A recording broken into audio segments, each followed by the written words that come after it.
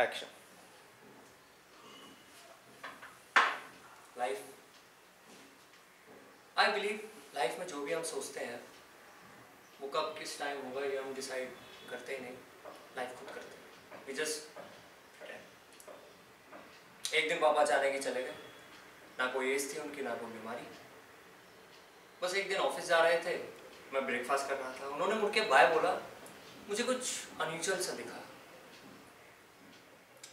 लेकिन इससे पहले मैं कुछ पूछता ही कोलैप्स कितने सारे प्लान्स थे हमारे?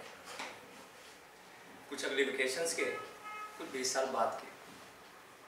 फिर डिसाइड किया कि कुछ प्लान करूँगा ही नहीं.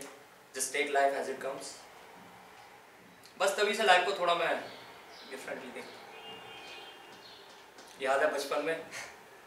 कैसे सारे कजन्स आ जाते थे घर पे? ले हाफ़ में घुस घुस के रात को प्लान्स बनते थे। ऐसे करेंगे, वैसे करेंगे। फिर अचानक एक दिन छुट्टियाँ खत्म। सारे कजन्स अपने घर। आई थिंक लाइफ भी कुछ ऐसी ही है। समर वेकेशंस की तरह अचानक खत्म हो जाती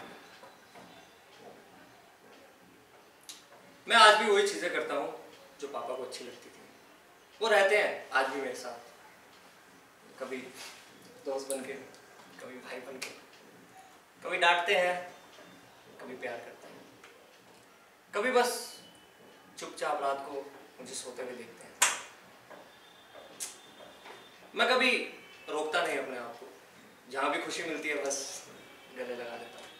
क्योंकि क्या पता, छुट्टियाँ कब खत्म हो जाए।